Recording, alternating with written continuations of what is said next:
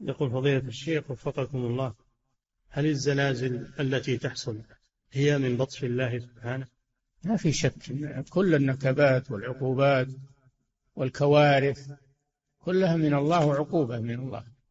هؤلاء يقولون كوارث طبيعية.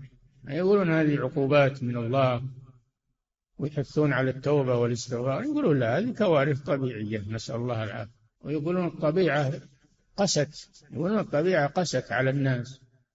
يردون الأمر للطبيعة هذا إلحاد وكفر والعياذ بالله. نعم.